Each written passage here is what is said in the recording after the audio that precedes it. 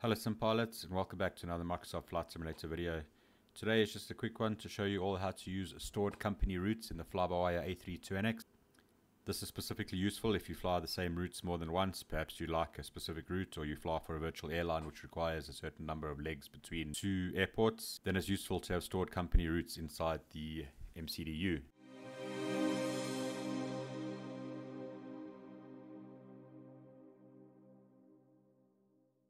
First things first, it does require the use of Fly-by-Wire's SimBridge. If you go into your Fly-by-Wire installer and head on over to the bottom left corner over here, you see Fly-by-Wire SimBridge, the little tick mark over here. If you click on it, it says SimBridge is running. Here, little settings icon, auto start. Make sure you have auto start enabled. That way, whenever you start up your computer, SimBridge will automatically be running. Now, while we're here, if you go onto the right-hand side and you click on About, as you'll see here, it says uh, resources folder. This is the folder where our company routes need to be saved in. So if I click on resources and it brings up the folder, we're going to save it in co-routes here, which is company routes. But we will come on back here once we have a company route. In order to generate these company routes, I use SimBrief as always. So if I head on over to SimBrief, let's create a flight plan, which we can save as a company route.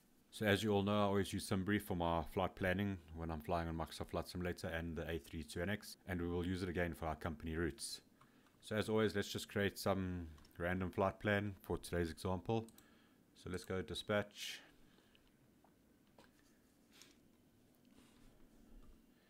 New flight. Uh, something random. Let's go Lufthansa 123. Depart from Gatwick and we're going to go to Munich. Aircraft type is the A20 November as always. Fly-by-wire all versions. We don't have to stick any of this in now. Let's go to flight level 350 and we'll leave everything else. And what we're going to do is we're going to have this saved as a company route. So let's generate this flight. Once that's been generated, we can go to flight plan downloads and we go all the way down to the bottom over here. We can see the XML data file this is the one that we want, but we need to rename it. So we're going to right click and it's going to go save link as, and it's going to just save it there. Now that's going to save it in our downloads folder. We'll need to move it to our company routes folder in a second. Before we do that, let's maybe do a second example with a bit of a longer route. So perhaps some something in North America, Blue American Airlines will fly from Los Angeles, and we'll fly right across the United States to New York. So Kilo, Juliet, Foxtrot, Kilo. On 820 November for the fly-by-wire. There we go. Uh, same thing, let's just stick in an altitude of 390. There's our route over there. And uh, generate this flight. Once that's been generated, we can go flight plan downloads again, all the way down to the bottom, right click, save link as, and there it is again as well. We'll save it in our downloads folder. Okay, so now we've got two examples that we can use. Now we've saved these in our downloads folder and we need to get them to our company routes folder. Now there's two ways we can do that. Like I showed you earlier, we've got the fly-by-wire SimBridge. So if we go to about and we can click on resources, it'll open up the resources folder which is over there, and then we can use the company routes. Or what we can do is we can go to our system tray over here, right click on the fly-by-wire logo and open resources folder. There's our company routes folder. So now if we take our downloads and we can move them across to our company routes folder. So let's cut these here and paste them over here. Now we need to rename them what I like to do is I just use the ICAO codes. You can use the IATA codes and a number. Maybe you've got more than one route for a specific route and you can't have them all with the same name. So let's rename this one. We take out all of that. It can be up to nine characters. So we can leave that like that. Let's do this one as well. We'll take out all these numbers. Just make sure it says .xml can leave it like that. Actually, this one we can even change to another example. Let's go 1. Sorry. Echo Golf Kilo Kilo Echo Delta Delta Mike 1.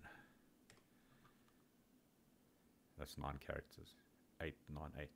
Okay, so there's our company routes. You can see I've got an old one for Gatwick to Frankfurt. Now let's jump into the sim and load them up. So here we are on the flight deck of the A32NX and when it comes time to setting up the MCDU we can head directly to the init A page. So if we go init A, there's two ways to enter this company route. We can go from to and it will bring up the company route saved for that departure and arrival or we can enter the company route directly from what we named it. So let's do from to, we go echo golf kilo kilo to, to echo delta delta mike and then it has our company route echo kilo kilo echo delta delta mike 1 because we saved it with a 1 and this is our route Mumfo airway waypoint airway waypoint airway waypoint airway all the way to our destination and if we want to use it we can insert it like that now if we go to the flight plan page, we can see it's already been inserted. Just an important note, when utilizing a stored company route, please be aware of the following data that is not included. A company route does not include the flight number, the cost index, or cruise level. So if you look here on the init A page, flight number, cost index, cruise flight level is not inserted. It also doesn't include a departure or an arrival or approach or any flight specific data like passengers, cargo, fuel, etc., as these are variables that can change every flight. So those will still have to be entered manually from your SimBrief flight plan. Okay, let's reset this and do another one, uh, other example. So we've reset the sim and we're going to have a look at our second example, which is a slightly longer flight. So straight to the init A page. This time we'll use the company route. And our second one was in America. So we had Los Angeles to New York.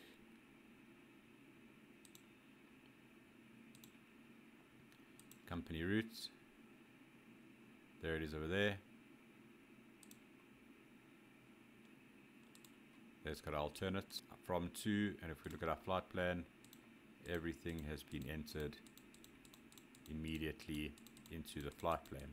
As I said before, doesn't include flight number, cost index, cruising altitude, or any other information like our weight and balance, etc., etc.